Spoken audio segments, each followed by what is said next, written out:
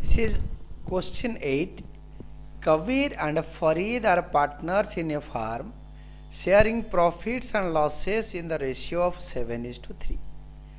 Kabir surrenders 2 tenth from his share and Farid surrenders 1 tenth from his share in favor of Jyoti, the new partner. Calculate new profit sharing ratio and sacrificing ratio. Answer 8. Old ratio of Kabir is to Farid is equal to 7 is to 3. New Kabir's new share 7 upon 10 was his old share. Now he, surren- he surrender that means it is written Kabir surrenders from his share not of his share. Of means multiply from means minus hence minus 2 by 10 this off and from is very important.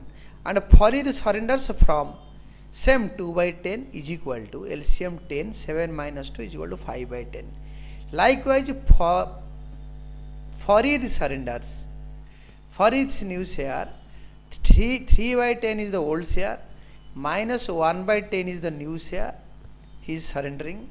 That is equal to LCM 10 3 minus 1 is equal to 2 by 10 Kabir's new share, Farid's new share, and third one is Jyoti's new share. Jyoti's new share is equal to 2 by 10 was his old share, not old share. 2 by 10 he is getting from Kabir and 1 by 10 he is getting from Farid. Hence he is getting 210 from Kabir, 110 from Farid. Hence his total share is 2 plus 1 by 10 that is equal to 3 by 10. Hence, the new ratio of Kabir is to Farid is to Jyoti is equal to 5 is to 2 is to 3. All the denominators of all the three partners are the same. Now, we have to find out sacrificing ratio. Sacrificing ratio, calculation of sacrificing ratio. The formula is Kabir's sacrifice, old minus new. 7 upon 10 minus 5 upon 10 is equal to 7 minus 5 upon 10 is equal to 2 by 10. Farid's new share, Farid's sacrifice is equal to 3 upon 10 minus 2 upon 10 is equal to LCM 10.